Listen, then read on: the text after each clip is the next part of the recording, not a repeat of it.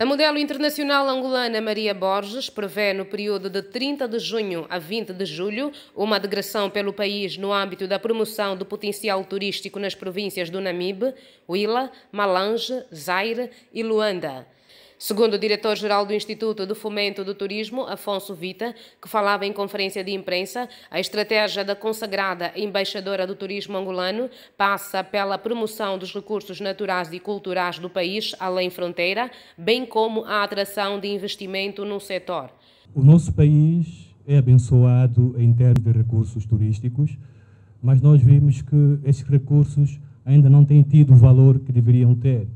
Há países africanos que todos nós conhecemos, que tem menos de 10% daquilo que Angola tem, mas em termos de aproveitamento estão muito melhor posicionados em termos de chegadas turísticas.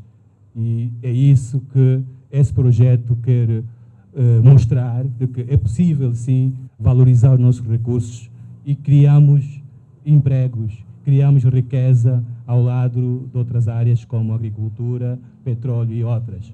Portanto, o objetivo principal é a valorização dos recursos naturais, culturais que o nosso país tem.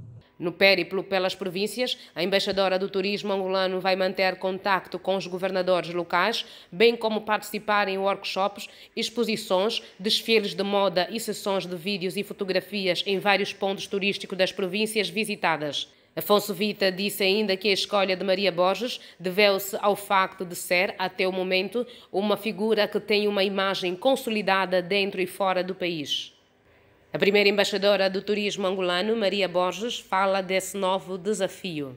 Estou muito ansiosa para conhecer as províncias. Muitas delas nunca tive a oportunidade de lá estar. Ouvi falar do que está a acontecer em termos de, de potencial turístico é, é importante lá estar e ver para ter a, a, experiência única e própria e vivida. Eu acho que me baseio muito nas experiências uh, vividas.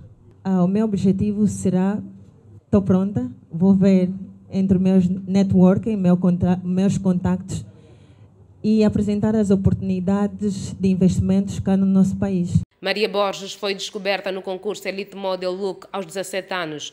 Agenciada de imediato pela Step Model, participou no concurso Ford Supermodel of the World Angola, sendo a vencedora do mesmo. Começou discretamente no mundo da moda internacional com participações nas semanas da moda Lisboa e Portugal Fashion e dali participou no Fashion Weeks de Nova York e Milão, fazendo numa temporada 17 desfiles nos Estados Unidos. Em Itália, foi a manequim escolhida para abrir o desfile da marca Rocco Barroco, honra normalmente reservada a grandes top models.